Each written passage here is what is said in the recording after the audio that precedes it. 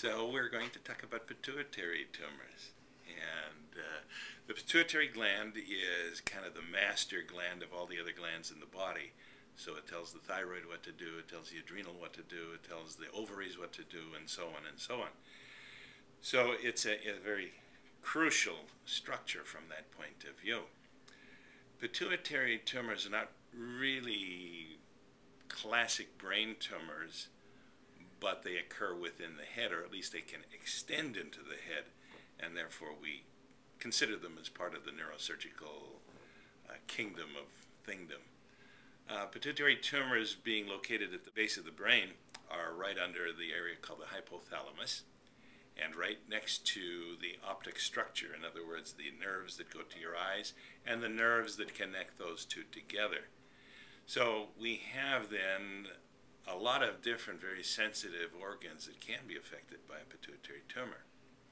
Pituitary tumors are generally described in one of two ways, either by their size or by their secretory capabilities. By size, I mean big or little. So we have macrotumors and microtumors. And then by secretory status, I mean they can either secrete or not secrete. And if they secrete a hormone that causes another of the endocrine glands to go crazy, then the symptoms will be due to the crazy endocrine gland as opposed to the pituitary tumor itself. If they grow in size, then they're most likely to affect the optic system in some way. And people will experience loss of side vision, uh, because this happens so slowly, many people aren't even aware that they've lost their vision and they go to have a, a driver's test and they're discovered to have a loss of peripheral vision. Or they uh, get in an automobile accident because they didn't see the car. Or they walk into walls. They do things like that as opposed to saying, oh my God, I don't have any side vision. That's something that people are not generally aware of. They could also cause double vision if they affect the nerves that move the eyes so a patient will present with double vision, perhaps I'm looking to the left or looking to the right or looking in some other direction. And finally, pituitary tumors, like any other brain tumors, can hemorrhage, and that's a condition called pituitary apoplexy. And that will cause sudden and devastating symptoms, uh, can result in loss of consciousness, even coma, and even death. So pituitary tumors can be very problematic from that point of view. The most type, the most common secretory type of pituitary tumor secretes a hormone called prolactin, which uh, will have major effects, particularly on women, but also on men. In women, they will present with irregular or lack of menses, periods, and galactorrhea or milk from the breast. And in people who haven't been taking certain psychotropic medications or people who are trying to become pregnant, uh, they will be discovered to have a high prolactin level, and then, of course, the next step is to check the normal pituitary gland and see if there is a tumor causing the production of prolactin, which then causes these other symptoms. Now, men don't present with amenorrhea, of course, but they do present with fatigue, loss of libido, and they too can have galactorrhea or breast milk. That said, the pituitary tumor, which secretes prolactin, is the most common in both men and women, but is particularly in women. Often these tumors are discovered during a, a fertility workup, um, incidentally found, so to speak. But pituitary tumors can also secrete ACTH, which stimulates the adrenal gland, and these people can present with Cushing's disease. And Cushing's disease is a condition where the face gets very rounded as though the person has been on steroids. They develop a, a fat accumulation around the trunk as opposed to the extremities, the arms and the legs. They develop purple stripes along their abdomen.